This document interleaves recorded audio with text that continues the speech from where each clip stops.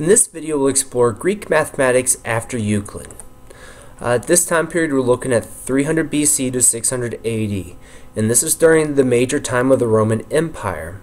Alexandria was able to remain part of Greece until about 30 BC, and it was up to that point that we see much of the innovations in science and mathematics come out of the university. Uh, when the empire did split, Greece became part of Eastern Rome, and you see a slow decline in the Roman Empire, as well as the scientific innovation coming from the Greeks. Much of their innovation was replaced with compilations and commemoratization works. The greatest mathematician of antiquity and one of the three greatest of all time was Archimedes, who lived during this time.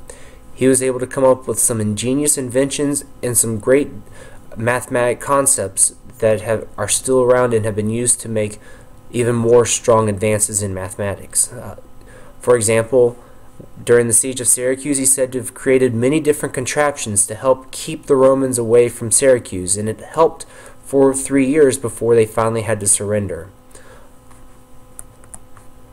He also was able to do a significant amount in mathematics and science. Uh, he came up with the concept of the first law of hydrostatics by trying to figure out how to determine whether King Hieron's crown was truly made of gold. Uh, it said that he was in the baths and realized this first law of hydrostatics, and he said, Eureka! and went running to the king completely naked to tell him what he'd found, hence where the term Eureka comes from.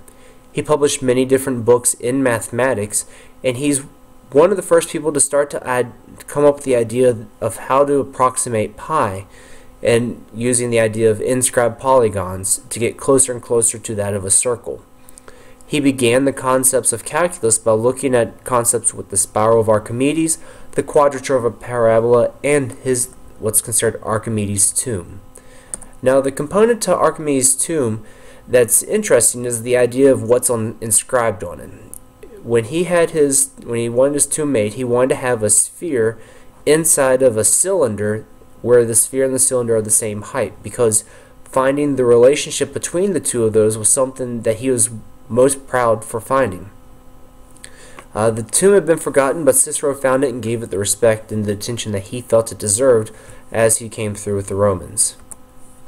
Uh, another important mathematician at the time was Eratosthenes.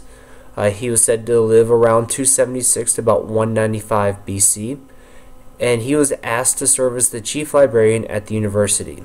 He was said to be well rounded in all fields and was often known as Beta because he was very good at many things but never the best at anything. Uh, he was known to have come up with many different achievements such as measuring the circumference of the earth, creating the sieve to help find prime numbers, and then creating the first known map of the world.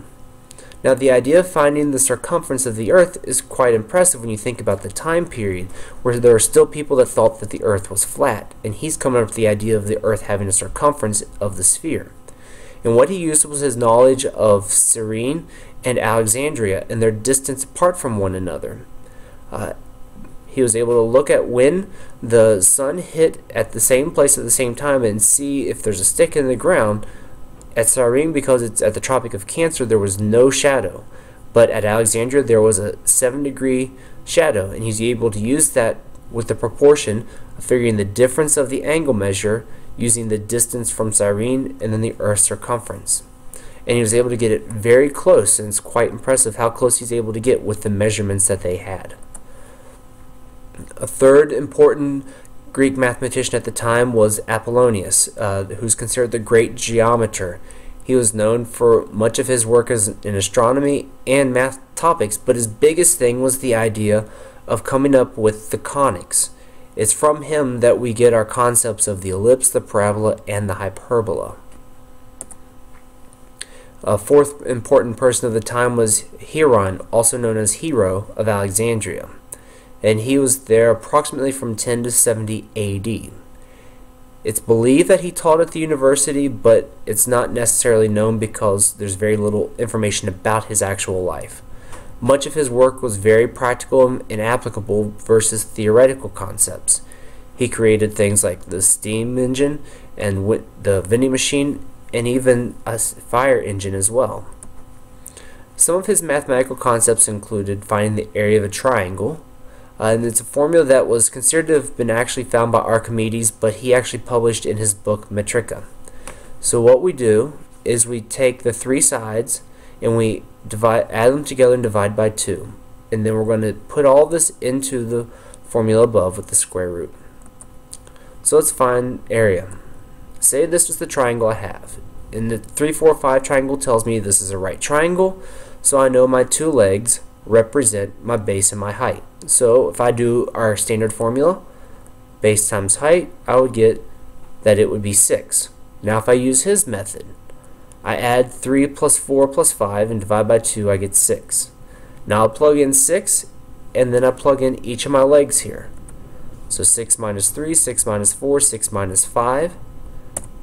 Simplify, and I multiply, and I get the square root of 36, which is 6. So either method, I can find the area. The other thing that he found was the approximation for a square root of a non-square integer. So first you find the product of that integer, any two numbers that multiply to make that number. The first approximation, we just average the two numbers together. Then what we have to do for each successive approximation is that we're going to take the previous approximation, we're going to add the original number divided by the approximation and divide that by 2. And we can keep doing this as many times as we want until we get to a value that we're comfortable with. So if I look at the square root of 6, I know that's approximately 2 and 45 hundredths. And so if I did his approximations, in the I could use 2 times 3 or even 6 times 1. So I'm going to use 6 times 1. I average them together, and that's going to be 3.5. So that's my first approximation. My second approximation, I'm going to take the 3.5, and I'm going to do 6 divided by the 3.5 and divide that by 2. And it gets me about 2.6. So I'm getting closer. I do a third approximation, using that new value I found of 7328 and it's good to use the fractions versus those rounded decimals so we can keep our answers as exact as possible and I get it down to about 2 and 4500 so you can see that even within three approximations we're very close to what the uh, value is for that square root.